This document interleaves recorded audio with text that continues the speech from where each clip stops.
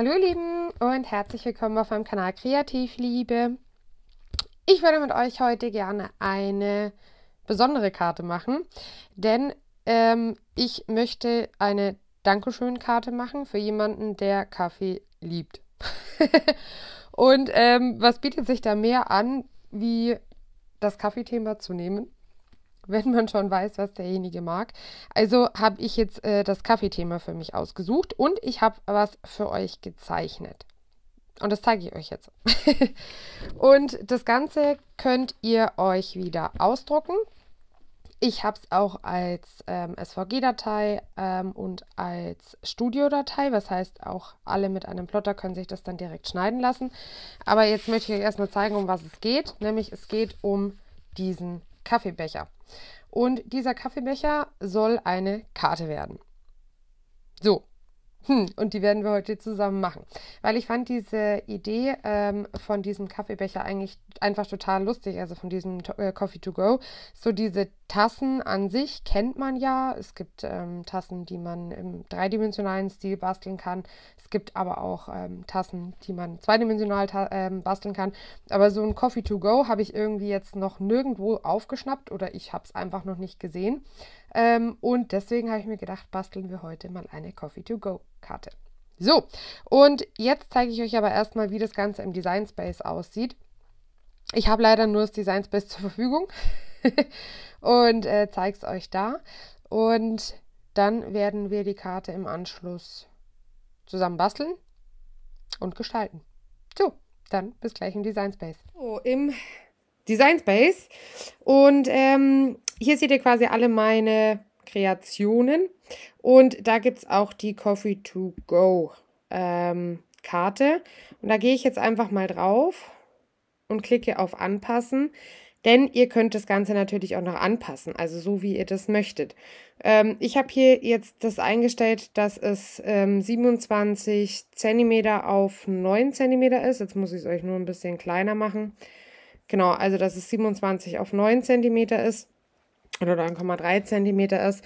Ihr könnt es natürlich anpassen von der Größe. Also ihr könnt es größer, kleiner stellen, wie auch immer ihr möchtet. Bei meinem Plotter ist es jetzt so, dass der maximal die Maße 30 auf 30, glaube ich, schneiden kann.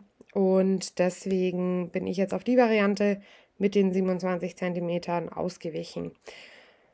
Ihr könnt ihn natürlich auch kleiner schneiden lassen, als zum Beispiel ähm, Anhängerchen oder sowas. Könnt ihr die auch schneiden lassen, also wenn ihr jetzt irgendwie Anhänger braucht. Und diesen Kaffeebecher gibt es dann auch nochmal, den stelle ich nochmal ein, einzeln, was heißt, ohne dass es jetzt zur Karte wird, sondern einfach nur der Kaffeebecher. Genau, so, und ähm, jetzt bin ich im Design Space schon wieder fertig, so viel war es nicht. Und dann werden wir jetzt zusammen die Karte basteln. So, also, wieder zurück am Basteltisch, hallo. Ähm, wir werden jetzt die Karte fertig machen. Ich habe mir die jetzt einmal mit dem Plotter ausschneiden lassen. Die ganzen Dateien stelle ich euch wie immer unten in die Videobeschreibung. Und auch die PDF zum Ausdrucken könnt ihr euch da rausholen. Und im ersten Schritt werden wir das jetzt einmal knicken. Und zwar schaut, dass ihr da halt eben aufeinander seid. Ihr könnt euch, wenn ihr möchtet, in eurem Plotter-Programm, je nachdem, was ihr eben habt, auch genau bei der Hälfte eine Falzlinie ziehen, dass euer Plotter das dann schon mal falzt. Mir reicht es jetzt so aber vollkommen aus. Deswegen belassen wir das so. So, einmal geklickt, geknickt, geknickt. So, jetzt, wir wollten es fast nicht mehr raus. Ähm, und jetzt möchte ich gerne noch eine Banderole um diese Karte machen. Und zwar, die soll in der Stärke 3 cm sein, also 3 cm dick. Und da hole ich mir jetzt für mal mein Schneidebrett und schneide mir aus diesem Kraftpapier einfach einen 3 cm Streifen raus. Bei der Banderole müssen wir tatsächlich ein bisschen tricksen, macht aber nichts dadurch, dass dieser Coffee-to-Go-Becher, ähm, also ich habe den mit Absicht ein bisschen schief gezeichnet. Nicht, dass ihr euch wundert. also ich habe den mit Absicht so gezeichnet, dass der eben nicht ganz gerade ist, weil ich finde halt, so hat er ähm, viel mehr Charme, wie ähm, ja, wenn man ihn einfach gerade zeichnen würde. Deswegen habe ich den so gezeichnet. Und dann ist natürlich das Problem, wenn wir in dieser Schräge arbeiten, ne? ihr seht es, dann ähm, überlappt sich das ganz anders, wie wenn wir jetzt gerade arbeiten würden. Ich zeige es euch jetzt einfach mal, bevor ich jetzt da viel erkläre. Ähm, ich gehe relativ weit hoch. So, und dann seht ihr das Problem, nämlich es überlappt sich. Und das ist ganz komisch, ne? Und das macht aber nichts. Wir tricksen da jetzt einfach. So, wir schneiden das jetzt hier mal ab, ziehen das runter und kleben das jetzt erstmal zusammen.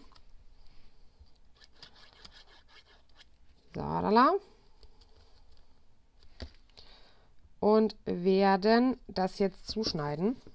Und zwar hier oben werden wir das Stückchen, was jetzt hier einfach überschaut, das werde ich jetzt gnadenlos abschneiden. So, und hinten drauf nehmen wir uns jetzt ähm, einfach nochmal ein Stück von dem, ähm, was wir noch übrig haben quasi und schneiden das einmal zu. Und dafür lege ich mir das hier einfach bündig drauf auf das Reststück und schneiden wir das hier zu.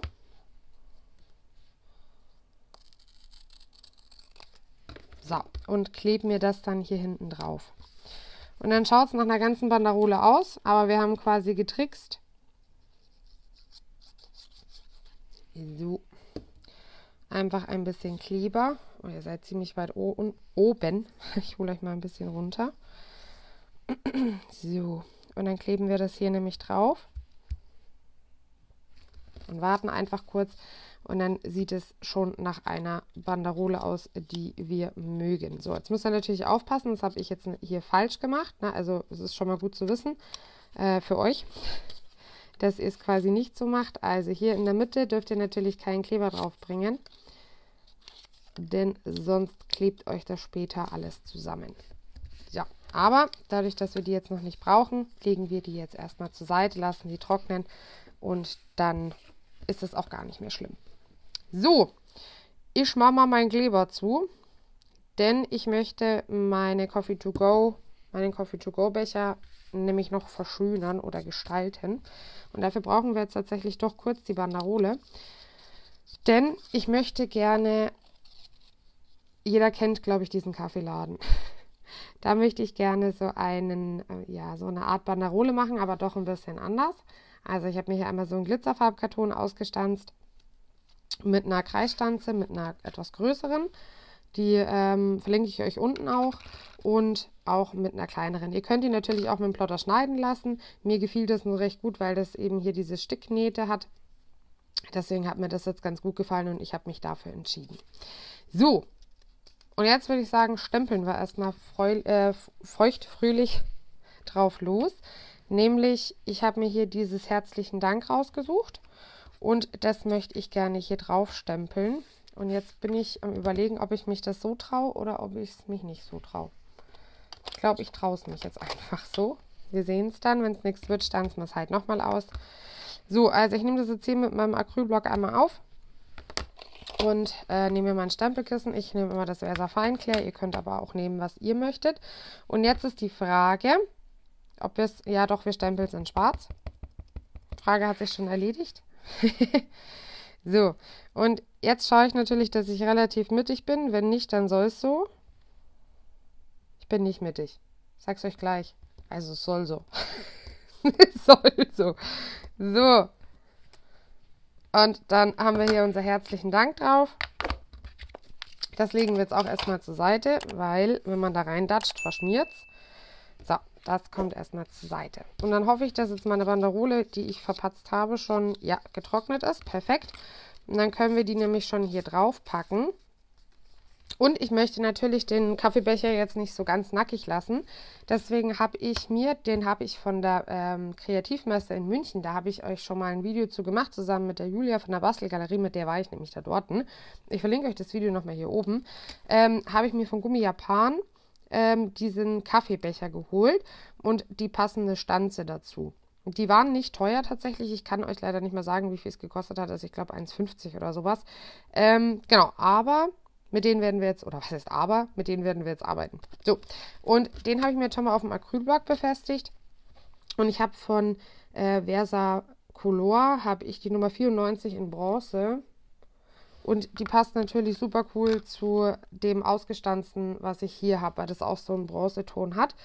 Und damit werden wir jetzt hier noch die Kaffeebecherchens draufstempeln. Ihr könnt da auch, wenn ihr jetzt keinen Kaffeebecher habt, ja, ähm, das ist jetzt auch ein glücklicher Zufall, aber wenn ihr keinen Kaffeebecher habt, könnt ihr natürlich auch irgendwelche Blümchen oder sonst irgendwas benutzen. Also ihr müsst jetzt nicht, seid jetzt nicht zwingend angewiesen auf Kaffeebecher.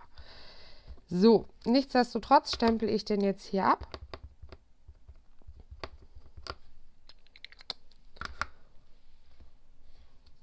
So.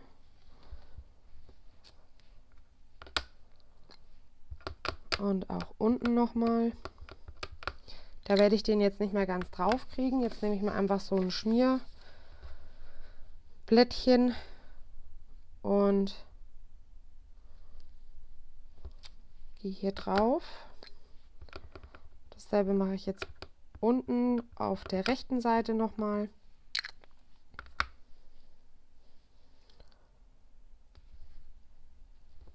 So, und dann haben wir unseren Kaffeebecher auch schon aufgehüpft. Ich, aufgehübscht. Ich finde, das sieht super putzig aus. Und das Glitzern kommt leider nicht so gut rüber, aber es ist eine wirklich schöne Farbe und glitzert auch toll. So, und dann hoffen wir, dass unser gestempeltes jetzt schon trocken ist und nehmen uns das einmal zur Hand und werden das jetzt hier draufkleben. Ihr könnt es mittig kleben, ihr könnt es auch ein bisschen nach oben kleben oder nach unten oder wie ihr das gerne hättet, denn das befestigen wir dann hier einmal ähm, oben drauf. So, und ich glaube, ich mache es aber tatsächlich mittig, mittig. Also heute ist die Sprache schwierig bei mir, aber ich hoffe, ihr versteht mich trotzdem. so, wir haben es schon spät abends, vielleicht liegt es daran. Sadala. Also ich bringe jetzt hier einmal Kleber auf und klebe das auf der Mattung sozusagen fest. Und dann könnt ihr entscheiden, was ihr macht. Ihr könnt es natürlich mit Abstand aufkleben. Auf das ähm, ist euch überlassen, also dass es nicht direkt aufklebt, sondern mit ein bisschen Abstand. Ich entscheide mich jetzt aber tatsächlich für ähm, gleich aufkleben, also direkt. Und gebe hier einfach auf die Banderole ein bisschen Kleber drauf.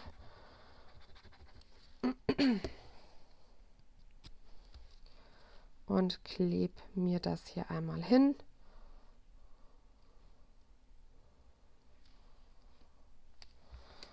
So, jetzt ziehe ich die hier noch einmal ab. Nicht, dass ich mit Kleberbarz.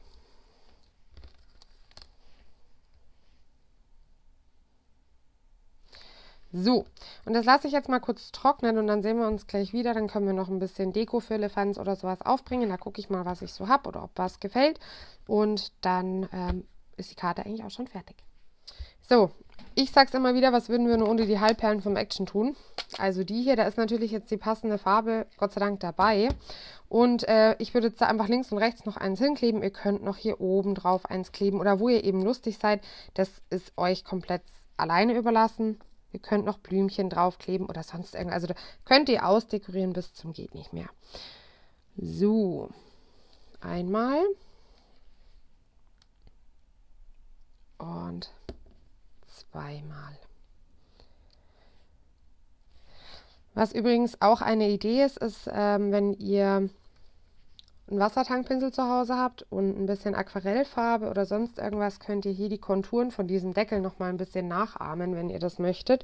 Dann sieht es oben nicht ganz so nackig aus oder ihr geht einfach mit einem Bleistift nochmal drüber und zeichnet so ein bisschen die Umrandung, also hier ist so eine kleine Rundung und hier so eine kleine Rundung ähm, entlang ein. Das könnt ihr aber machen, wie ihr lustig seid. Ihr könntet auch noch die Kaffeebecher da oben hinstempeln. Also da sind eurer Fantasie keine Grenzen gesetzt.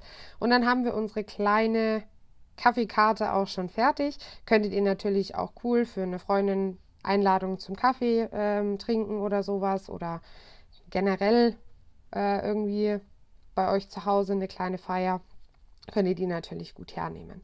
So, da hat sich ein Fussel drauf versteckt und wenn ihr die dann natürlich aufklappt, habt ihr ähm, massig Platz, um eure Glückwünsche, um euren Dank, so wie jetzt in meinem Fall, oder, oder, oder, eure Einladung, wann, wo und äh, wie lang geht's, hinzuschreiben. Aber das ist euch dann komplett alleine überlassen. So, dann war es das von mir für heute schon wieder. Dann wünsche ich euch einen wunderschönen Tag, ihr Lieben. Passt gut auf euch auf und wir sehen uns ganz bald wieder. Bis dann, macht's es gut. Tschüss.